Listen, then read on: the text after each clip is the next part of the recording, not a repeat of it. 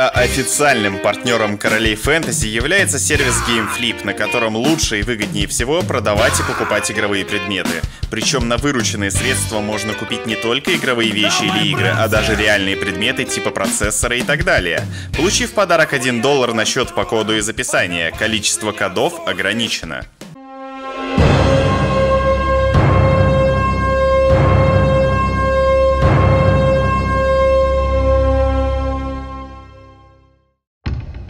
Привет, народ! С вами Финаргот. Подошел к концу главный чемпионат года по Dota 2 The International 2017, а значит и пора подвести итоги наших предсказаний. И первыми на очереди становятся короли фэнтези. В ближайшем будущем, разумеется, вас ждет статистика предсказаний и сетка с призовыми.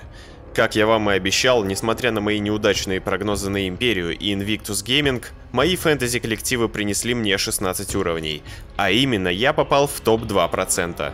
Выбрал бы я Liquid и LGD, Изи попал бы не то, чтобы в топ-100, а примерно в топ-40 по моим подсчетам. Но ничего, в будущем постараюсь относиться менее предвзято, как это сделал с Империей и IG, за которых болел. Дабы все подытожить, я решил напоследок привести статистику лучших игроков по среднему количеству очков за матч. Среди игроков основы ими стали Miracle, Анна, Resolution, Мане и Мидван.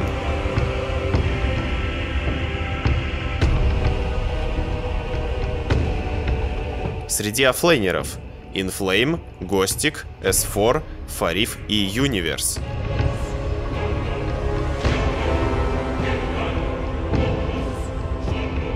И среди игроков поддержки Teams, КК, Соло, Бульба и Бабока. Надеюсь, большинство из вас, уважаемые зрители, набрало 16 уровней и теперь распыляет повторные морталки от Гейба. Впереди же нас ждет новая система мейджоров, которая пока неизвестна в каком формате принесет нам компендиумы и боевые пропуски. Но я надеюсь, рубрика Королей Фэнтези обязательно вернется уже совсем скоро. Поэтому ставьте лайки, подписывайтесь, а также не забывайте про сообщество, посвященное новой игре от Valve – Артефакт, ссылка на которое есть в описании. Всем удачи и до скорых встреч!